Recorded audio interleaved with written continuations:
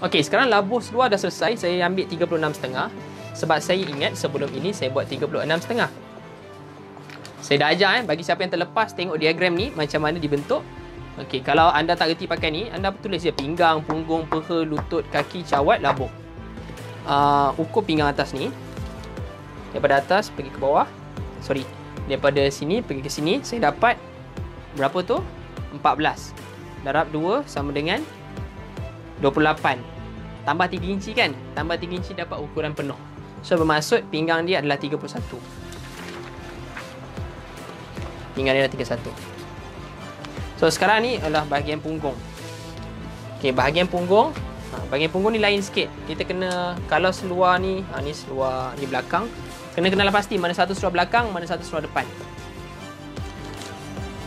Okay. Punggung eh salah satu cara uh, ramai student saya yang buat tapi tak berapa jadi. Uh, salah satu cara anda boleh ukur macam ni. Berapa dapat? Ni eh daripada tepi sini pergi ke sini. Agak-agak yang mana paling besar? So ni lah yang besar.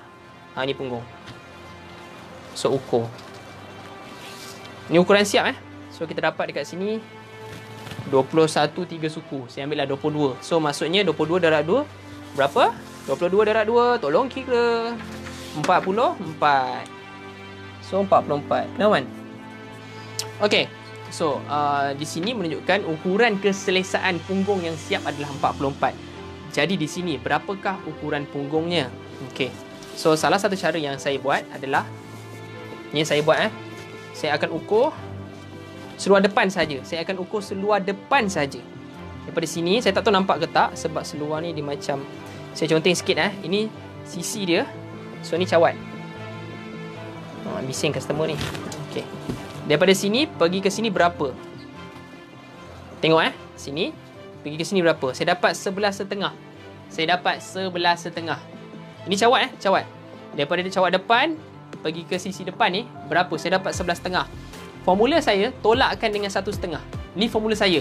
Dia tidak diguna pakai uh, contohnya semua orang boleh pakai. Tak tapi uh, siapa yang gunakan uh, formula yang saya ajar di kelas formula yang saya sebab seluar ni saya buat. Formula yang saya ajar di kelas formula yang saya ajar yang penting saya ajar anda boleh guna. Tapi kalau anda campur-campur formula orang lain kalau tak jadi jangan salahkan saya. Sebab masing-masing ada skill masing-masing. Sebab tu belajar dengan satu guru tu belajar sampai jadi. Uh, okay, anda kena cubalah. Kalau teknik dia anda tanya dia macam mana. Ini teknik saya. Sebab saya yang uh, apa ni faham formula ni. Jadi macam mana kita nak modify balik daripada sini pergi sini sebab kita tukang jahit, kita yang tahu formula ni kenapa dan kenapa. Okay, daripada seluar customer kebiasaannya saya akan buat macam ni. Kecuali kalau macam seluar tu pelik sangat. Ni jujur eh, uh, bila seluar jekyll, anda tak boleh guna formula ni. Anda beli seluar jekyll, anda nak ukur seluar contoh, uh, sebab formula dia saya dah cuba, saya pening sikit uh, sebab saya suka mengkaji formula bila saya tengok uh, seluar jekyll, uh, seluar dia asal kembang. Dia atas kembang, bawah kecil. Jadi dia tak pakai formula yang uh, saya biasa tengok lah. Mungkin saya punya ilmu tak sampai tahap tu. Okay? Tapi dia ada skill dia lain. Cumanya kalau nak pakai jekyll, awal-awal saya cuba tak jadi. Jadi anda kena ukur cara lain. Uh, yang itu saya tak tunjuk malam ni sebab saya tak ada jekyll. Okay? So sekarang ni, dari sini pergi sini dapat berapa? Okay.